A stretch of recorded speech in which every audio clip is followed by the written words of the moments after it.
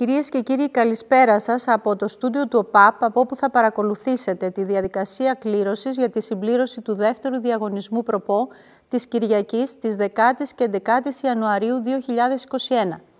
Η κλήρωση αφορά στον αγώνα Έλτσε Χετάφε.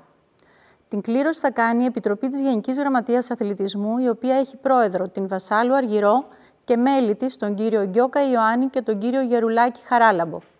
Γραμματέας της Επιτροπής είναι ο κύριος Ζαρμακούπης Σπύρος, υπάλληλος του ΟΠΑΠ. Από την αξιολόγηση των σημείων προκύπτει ότι στο σημείο 1 αντιστοιχούν οι αριθμοί 1, 2, 3, στο σημείο Χ αντιστοιχούν οι αριθμοί 4, 5, 6, 7 και στο σημείο 2 αντιστοιχούν οι αριθμοί 8, 9 και το 0. Τα 10 σφαιρίδια βρίσκονται ήδη στην κληροτίδα και είναι τα νούμερα 1, 2, 3, 4, 5, 6, 7, 8, 9 και το 0. Είμαστε έτοιμοι για να αρχίσει η διαδικασία της κλήρωσης. Παρακαλώ να ενεργοποιήσουμε την κληροτίδα.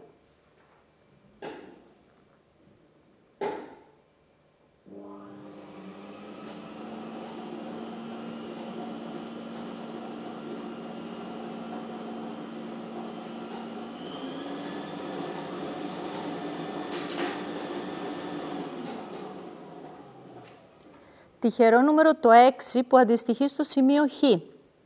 Μετά τη διαδικασία της κλήρωσης, η νικήτρια στήλη έχει ως εξής. 2, Χ, 1, 1, 2, 1, 1, 1, 2, 2, Χ, 1, 1, 2. Κυρίες και κύριοι, εδώ τελείωσε η διαδικασία της κλήρωσης. Καλό σας βράδυ.